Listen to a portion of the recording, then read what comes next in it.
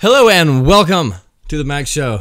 Oh crap, this is not the Mag Show. Hello and welcome to Story Time with Mags. The Mag Show is more like serious stuff. This is more like stupid stuff that you just want to. So I could not figure out what to talk about today. I was going to talk about the times I almost got kicked out of the military. Today, I'm going to share with you guys uh, this one guy in the fire department. This one guy, just just you know, every fire department or any workplace has that one guy, and I'm going to tell you about this one guy today. No, I'm not going to say his name. I'm to call him Steve. Fire Steve, okay? One day, I'm sitting in a computer room, just doing my CDCs, you know, fire department homework or whatever. And realistically, I'm looking at discount tires. So I'm looking at tires, and old Fire Steve comes over and he's like, "Hey, what you doing?" I'm just like, "Oh, I'm just looking at tires, man. Uh, gonna get some new tires to the 4Runner, you know, beef it up a little bit." And he's like, "Are you, are you gonna buy the tread or the whole thing?" And I say,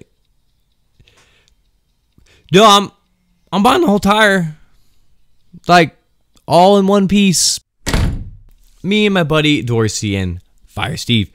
Fire Steve's driving. Uh, we're going to this place called Ruidoso, New Mexico, and so we're driving up there from Alamogordo. We're cruising along, and the sun sets, and all of a sudden I notice all this guy's gauges, everything's pitch black except for his dome lights on. So picture his dome lights on, all his gauges pitch black, everything's pitch black in the car except for this dome light. I was like, "Hey man, uh, what's up with your gauges? Um, why's your dome light on?" He's like, "Oh, my gauges don't work." I'm saying, really? And I just reach over and I'm just like, I spin that little wheel on the side of the dash. All of a sudden, his gauges go and light up. And he's like, "Holy smokes! How'd you do that? How long have you had this car?" He's like, "A year and a half." Are you serious? You've been driving this car for a year and a half with a dome light because you couldn't figure out. Seriously. So, another time. So, Fire Steve's my piss mate. Okay? So, when now what a piss mate is, is this is my dorm, and this is his dorm, right? And then we have a bathroom separating our dorms, right? And so he's our piss mate. We we share a bathroom together. I usually leave my bathroom unlocked because this guy offers me free booze all the time, right? And this guy's off, man. He's off. But you know, it's just like whatever, bro, right? And uh, uh, no one in the fire department really likes this guy just because he's just.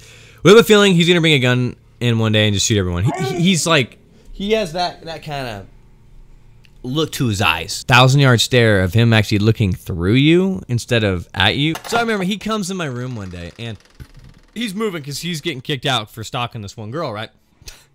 Normal stuff in the Air Force. He's got this 55 gallon fish tank, full water fish, you know, and he's like, hey, can I just ship this like this? And I was like, wait, like with the water and fish in it? And he's like, yes. No, no, no. You got to empty the water out. It, they, they, it's too heavy in the first place. You're gonna have to empty it out. I mean, the thing weighs like this thing probably weighs like 300 pounds at least. And he's like, you know, so like, no, you have to empty it out. You got to empty the fish out. You got to empty the water out. You got to ship it separate. And you got to put your fish in baggies and try to ship them without them dying. The most clueless person I've, I've ever met in my life. Like it was just like, wow, wow. Like, how did you make it through the military? Just through the fire department. I mean, just the fire department in general. Like that's just. If you saw what we had to go through, you're like, how the hell did you make it through that? I'll see you later.